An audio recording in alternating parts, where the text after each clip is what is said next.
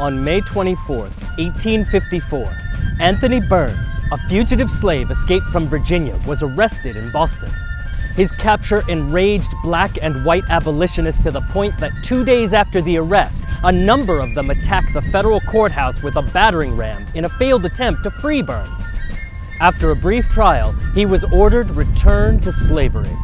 He was the last slave returned from Massachusetts under the Fugitive Slave Act. This Day in History brought to you by the Freedom Trail Foundation, partnered with the Massachusetts Teachers Association to bring history to life.